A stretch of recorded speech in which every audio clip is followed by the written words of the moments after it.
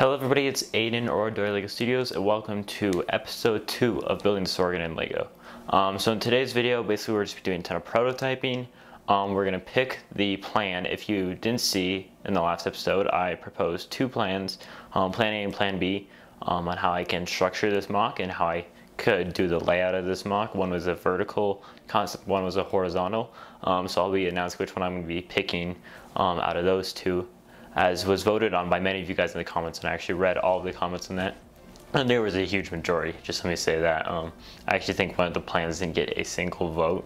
But anyways, there's just gonna be a lot of prototyping in this episode and a lot of actually very crucial decisions on what um, direction I'm gonna be taking this MOC is gonna be taking place in this episode. Um, so yeah, anyways, let's go ahead and get into it and you guys can be sure to weigh in on some of the questions that I'm gonna propose um, in the comment sections as that would really help. But anyways, let's go ahead and get into the video now. Alright guys, so now getting into the building segment. Um, first of all, I'm just going to announce what plan I made. Um, if you don't remember from the last episode, I definitely recommend checking it out as this MOC will make a lot more sense if you go ahead and check out the last episode of Building Sorgan and Lego. Um, I'll go be sure to link it in the description possibly and it will probably be suggested to you in the sidebar or in the cards. Um, but anyways, I brought up the idea of two plans. One was a horizontal plan and then one was a vertical plan. Um, as you can probably tell, I ended up choosing to do the vertical plan, um, which was plan B. Plan A did not get many votes in the comment, let's just put it that way.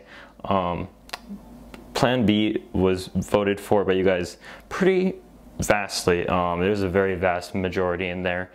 So I just figured that it's what you guys want and you guys brought up some um, pretty good points. Like some people said the battle felt more vertical in the show than it did horizontal, which was something that I hadn't even thought of. Um, and a lot of you guys wanted to see the huts. Um, so I figured let's just go ahead and get into the prototype I have for the hut walls. Um, yeah, again, this is a prototype, so these colors are not final at all, and they never will be as there's no white on Sorgan really. Um, but anyways, I just added a minifigure in here for height comparison. I'll just set this down so you can see um, how tall this actually is compared to a minifigure, which is kind of accurate to show. Um, but anyways, I'll go ahead and show on the screen for you guys what these Sorgan huts look like um, in the village. And then we can take a look at this prototype. So the difficult thing about the um, Sorgan huts is that they curve around to the side and then they curve over the top and they curve under the bottom. Um, so what's difficult about this is Lego's basically based upon a uh, square or rectangle system. So this makes it difficult because that's just not a natural shape in Lego. Um, but anyways, what I remember from Kamino that I ended up doing was the same thing as the pillar design, RIP Kamino.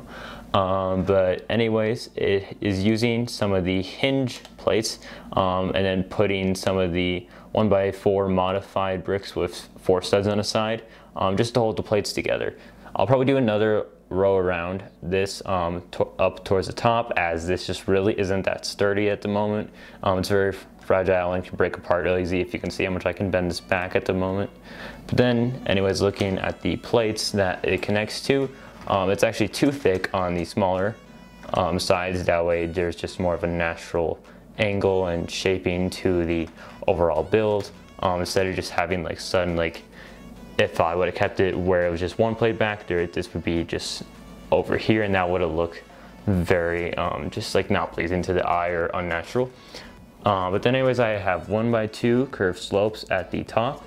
Uh, of course, it's not gonna be in white in the final MOC, it'll be in like dark brown or reddish brown, um, along with every other part you see on here most likely. I just, it's a prototype, so I don't have the official colors or the final colors that I'm gonna be using on this. Um, but yeah, anyways, let me know what you think about these walls. Um, it's just, I need to figure out the walls uh, before I start building up because um, there's kind of like two more parts of the roof I'd say. Um, there's like a circular, like small, bigger, larger, um, but like very gradual slope, sloped um, cone right here. And there's like a spire at the top. Um, spire is gonna be the easiest part out of all of this, um, but I just need to figure out the wall design before I get into anything else of that. Um, anyways, let's go ahead and move on to the next thing that I'm prototyping, which is the grass by the ATST Raider. I'll go ahead and show a reference picture on the screen right now. But anyways, if you look, the color changes actually, uh, and the type of plant changes from the front to the back. Um, if you see, it's kind of more of a like shorter, pricklier um, grass in the front, and then that just moves into a taller, more pointy grass in the front. So what I'm gonna be doing for that, or what I'm thinking about doing, so be sure to leave your uh, thoughts and opinions down in the comments on any of this stuff um, for sure, as I'll be looking at all of it, is using the, so what I'll be doing is using the flower stems um, in the front and just gradually sloping those up, as you can see I've done here, and then moving into like the um, more taller, uh, I guess you could say foliage parts. If you see here, we have one of the more like prickly bushes right over here, and then moving into some of the palm tree leaves stacked behind that. And then there's this weaving technique that I create, um, used to create this bush. Uh, as I think it's a very interesting technique, and I'm interested to see what you guys have um, to say about that. And then right here we have, I guess they're called like stalks um, in olive green.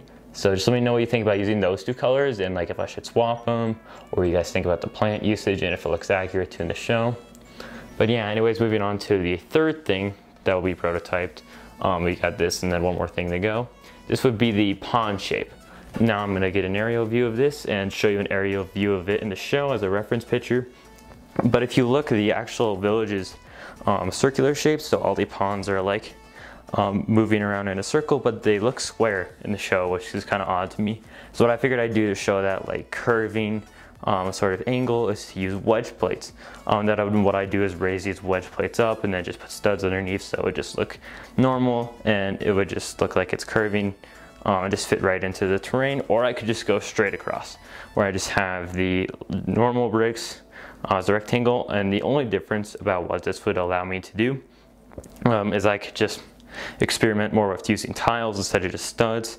Uh, as you see, I tried using right here to see if tiles would fit, which they would not because there's a, like an awkward gap right here. If you can see that, I don't know if you guys can on the camera as well, um, but it just would look awkward, especially if I end up bringing it to a convention, which is a whole nother thing to talk about um, for another day. But anyways, yeah, just let me know if you guys think I should go for the wedge plate design. Um, of course, this one would be the final placement as it's probably too symmetrical as it's just randomly placed in the show and the ones by the ATST are rather large as that's the whole reason that the ATST is able to step in and just fall down um, in the show. And then the last thing that we'll be talking about or quote unquote prototyping today is the color scheme.